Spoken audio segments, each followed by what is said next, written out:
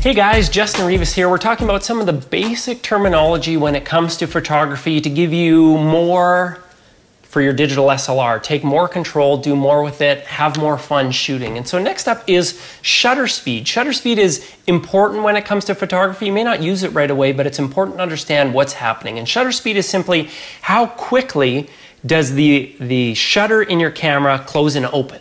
Uh, if we have a really slow shutter speed, your camera is going to open up for a long time taking the photo and then close back down. If we have a really fast one, it's just going to be kind of like blinking your eyeball and it's just going to open and close really quickly. What happens is when we have a really slow shutter speed, we're letting more light into the camera, uh, but the other effect is that we can get a lot more blurry things because as it's open and capturing, things move. Whereas when we have a really fast shutter speed, we don't let a whole lot of light into the camera, uh, but we're going to freeze motion. I'll give you a couple examples of that. Let's take a look at the computer.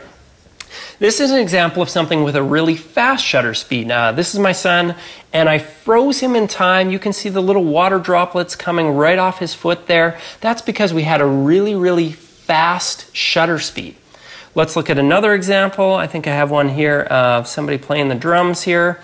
Uh, this guy's name is Russell. In this case, I had a slower shutter speed, and what you can see is his drumsticks have begun to blur because the shutter speed is slower.